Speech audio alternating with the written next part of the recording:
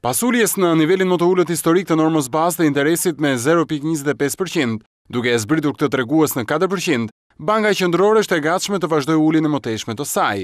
Gjatë prezantimit të raportit për politikën monetare, ekspertët e këtij autoriteti pohuan se në këto kushte makroekonomike, ekzistojnë hapësirat e nevojshme për ndryshim të normës së interesit, Me uljen e mëtejshme të saj, Raporti i Politikës Monetare nxjerr në pah përkeqësimin e gjendjes së ekonomisë shqiptare për gjysmën e parë të vitit dy mijë e dymbëdhjetë, duke shkuar në të njëjtën linjë me deklaratat e guvernatorit të Shqipërisë Ardian Fullani në daljen e tij të fundit pas mbledhjes së Këshillit Mbikëqyrës së Autoritetit Financiar që drejton. Në një panoramim ekonomik të vështirë nga ekspertët e bankës, një ndër të paktat lajme të mira për konsumatorët shqiptarë pritet të jetë inflacioni i ulët. Ekspertët e politikave monetare presin normë inflacioni nën objektivin e Bankës Qendrore përgjatë dymbëdhjetë muajve të ardhshëm. Sipas tyre, inflacioni i ulët do të përcaktohet nga kërkesa e dobët dhe thellimi i hendekut negativ të prodhimit në ekonominë shqiptare. Inflacioni me nëntëdhjetë për qind probabilitet do të luhatet nga një deri në tre pikë tre për qind gjatë këtij viti, ndaj do të vazhdohet natyra stimuluese e ekonomisë, që nënkupton ulje të normës bazë për të nxitur më tej zhvillimin e ekonomisë me rritjen e kreditimit